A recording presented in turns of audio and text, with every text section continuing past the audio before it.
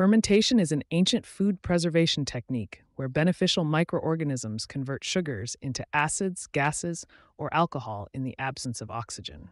The process is driven by bacteria and yeasts that naturally occur in our environment, with lactobacillus being one of the most important bacteria in food fermentation. Cultures worldwide have developed their own fermented foods, from Korean kimchi and German sauerkraut to Indian dosas and West African gari. The fermentation process not only preserves food, but also enhances flavors, creates interesting textures, and can make nutrients more bioavailable for our bodies. In beverage production, fermentation transforms grape juice into wine, grain into beer, and tea into kombucha through carefully controlled microbial activity. Beyond taste, fermented foods support gut health by introducing beneficial probiotics, making fermentation both a culinary art and a cornerstone of human nutrition throughout history.